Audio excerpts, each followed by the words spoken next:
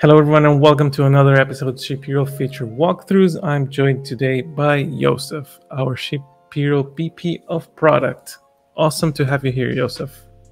Hey, Thanos, good to be back. So, today, Yosef will walk us through a core feature of ShipHero how to pack and ship. Is that right? That's right. Um, so, we're going to walk through how to take an order that's been picked and take it through the packing and shipping process. So this is not a new feature, it's been around for a long time, um, but it is a very core feature of ShipHero. All right, so here we have the uh, ShipHero packing app. Um, and as you can see, I have a number of orders um, that I can ship. And just to go through a few features of this screen, um, you can see there are some filters we have on top. So we can look at orders in a specific status. Um, we can filter by order tags look at only pickable orders or only orders ready to ship. Now, for the most part, when you're using this screen, it's going to be a ship orders that have been picked using multi-item batch picking. Um, these orders that you see here have not been. You can see they say they're not in a tote. So they haven't been picked yet. Um, but you can use this to ship any order that's ready to ship. So, yeah, for the most part in the warehouse, you're going to pick orders using using batch picking, and then bring them to the shipping station and ship them. Um, but any order can be shipped. Now, just to note, there is, of course, bulk ship and single item batch picking. Those shipping flows are a little different. This is specifically for that single order um, that you're just shipping one off or shipping after uh, picking it into a tote. So to start the process, we're going to scan our tote barcode. So I've already picked an order into a tote and I'm going to scan the barcode to bring up the order. I can also use this search bar to search for an order number uh, if I want to ship a specific order. But if I'm just shipping order from a tote, just grab the tote, scan the barcode, and it's going to open the order. You can see it's brought the order up and it shows me the items I need to ship.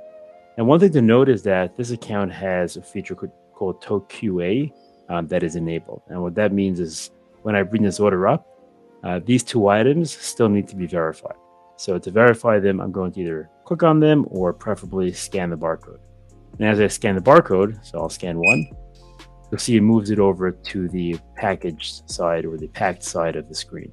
Uh, and that means that the, the item is packed um, and I'm going to essentially scan all the items to confirm that I have all the items in the tote. If tote QA was off, um, the order would start in a packed state. So everything would already be on the right side of the screen and it wouldn't require me to go through that verification step. So I'm going to pick the rest or pack the rest of the items. So I'll scan my other French onion and scan the original. And if I scan an item again or scan too many, throws a warning up saying I've already scanned the required amount. And it's just a check to make sure that you know I don't just grab everything. Maybe the, the picker put too many in the tote and I'm going to over overpack the order. So this does check that for you to make sure that you are packing the correct items. Um, a few things you can do here as well. So if, for example, I want to unpack the item, I can go here, unpack, and since there's more than one, I can choose how many.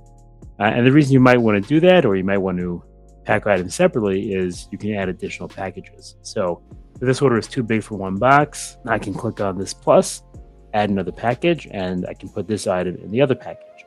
Each package would have its own weight and dimensions associated with it. Um, so you can, you know, pack and ship each each package separately. Uh, I'm going to unpack this and we'll just get rid of this package and we'll scan this, put it back in the original box. The next step would be to choose the box that I'm using. Again, I'm going to use my, my uh, barcode for that. I'll scan my barcode and it chooses the stack box. And that's going to input the dimensions of that package and any weight associated with that package. And you notice the weight has been changing as I'm packing items. And that's coming either from a scale, if I had one connected, or from the item weights that we have in the system. So now the order is ready to ship. Uh, if I'm using the parcel view feature, I can take my picture of the box. So I have my parcel view barcode. That snaps the, the picture of the box. And then I'll scan my print label and, and invoice as well. And you see that's going to generate the invoice and generate the shipping label.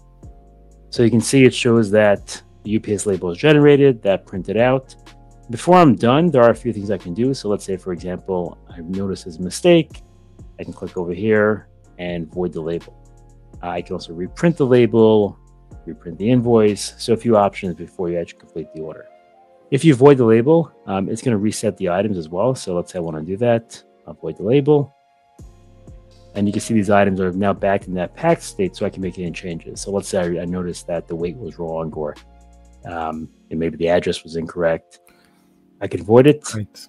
make the changes, make the corrections that I need, and print the label again. So I'll just scan my barcode again, and that's going to print the new label, print that out, and then the order is done. So now, once the order is ready to go, ship it out, and scan my complete order barcode. And that's going to bring me back to the screen where I'll grab the next tote, scan it, and repeat the same process.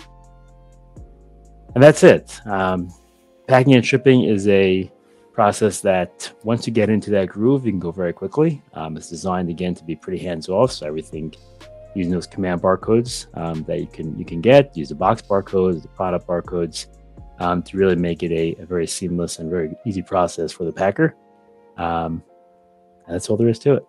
Awesome, awesome. Thank you very much, Joseph. That was super intuitive and super easy, actually. Yep. Mm-hmm. And if you'd like to check out other feature walkthroughs, click on the top right corner. And if you're ready to unlock your e-commerce fulfillment superpowers, visit shiphero.com to schedule a call with us. Thank you for watching and have a great day.